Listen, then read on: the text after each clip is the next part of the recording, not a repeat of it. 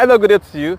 You know for sure that when you are buying landed property for the purpose of investment, emotion and sentiment should not get in the way because we are talking about how you want to make more money here. So which is why you will not expect me advising you to buy landed property even in your village, perhaps where there is no government presence or private sector presence. no disrespect. As a matter of fact, for some of us, you know, you may not even find our remote villages on Nigeria map. that is on a lighter note anyway. So my name is Ogbeni Bode Adeniji. And uh, if you're first time on this channel, do well to subscribe and tap the notification bell so that you will be among our subscribers who they continually enjoy free content we share on this channel talking about what is happening in our space property what is happening in lagos property and its environs and if you're a returning subscriber i clap for you i tell you thank you thank you for giving us the reason to continue be of service to you so today if you are buying property for the purpose of investment let me tell you what you need to do you need to be analytical you need to be um, you need to be analytical you need to be calculative, you need to be speculative in terms of what is happening in the industry. Now, also need to break it down. And talking about breaking it down, this is Amen Estate Phase 3. And I'm going to break it down. Now, this is Phase 3, meaning that there's Phase 1 and there's Phase 2, which today have success story behind them. As a matter of fact, we have few celebrities living in Estate Phase 1. Funke Akindele, the actress, Akpororo, the comedian, just to mention few of the celebrities living in Estate Phase 1. Phase 2 also follows suit in terms of being a success story. Then this is phase 3. And of course you agree with me that it has to keep getting better. It is getting better here and this brand of course is bringing its signature here. You can see trees have been planted, flowers, setback and other infrastructure all going at the same time. Now talking about proximity, you probably must have been hearing me talking about Itunu City, Itunu City in this corridor is sharing fence with Itunu City. Also, Alaro City is also not too far away from here. Then on the other side, you have Pan African University. Then of course you have Second Lagos International Airport, which is now approved. That is not all.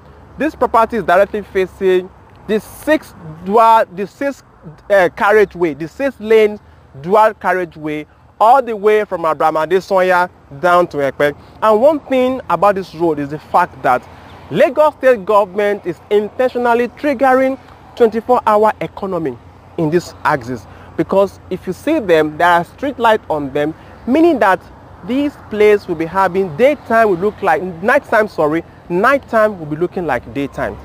Another thing you need to look at on this road is the fact that there's a provision for BRT lane on this road, meaning that people can even be living in Aja, Abraham Adesanya, and working in Epe so begin to picture what will be coming in this axis. Then talking about breaking it down further, a plot of land here is currently selling for 18 million naira, where you have option to break it down, do initial deposit of 4 million, and you pay the balance for 12 months.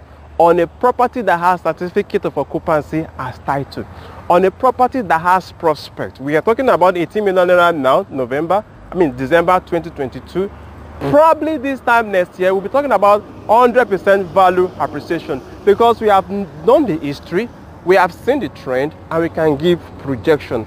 If we are talking about 18 million naira now in 2022 even if you check it that is 36,000 naira per square meter something you cannot find in VGC something you cannot find in Abraham Adesoya not in Aja not in Chevron not in Orchard not in Lekki phase 1 that is very very possible here in a location where it is yet to be saturated, where you can take advantage now. We are talking about 18 million now in 2022. I want to assure you, this time next year, probably we're talking about double the amount, maybe 36 million, 40 million, or even 45 million naira. So it is very, very feasible. It is very, very doable at this time. So it doesn't matter whether you want to come here and develop.